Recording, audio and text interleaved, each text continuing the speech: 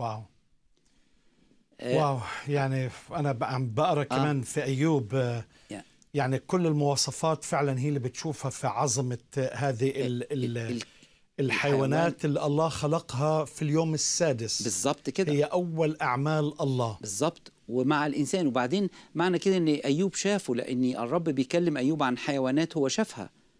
وعن كائنات هو شافها عشان يقول له انت كنت فين لما أنا عملت ده وده وده وانت آه، كنت فين الحكمة اللي عندك لما أنا عملت ال- النعامة اللي هي مش عارف بتحط آه، البيض معناته بعد الطوفان يعني في بعض الديناصورات عاشوا اللي آه, آه ما هو الفكرة كالآتي إنه هل الديناصورات دخلت الفلك؟ ما ده سؤال كبير قوي بندرسه لما بندرس الفلك.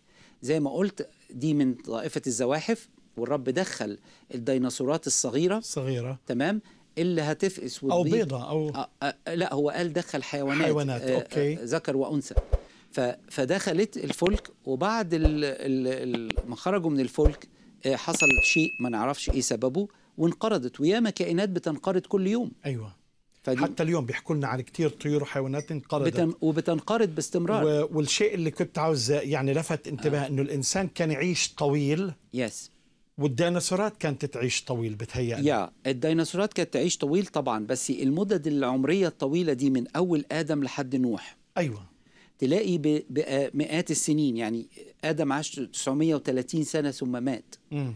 آه، ماتوشالح عاش 969 سنة. شوف دقة الكتاب مش يقول لك 970 905 ده المدة اللي عاشها. وده بأكد فكرة اليوم 24 ساعة. بالتأكيد بالتأكيد. أو السنة.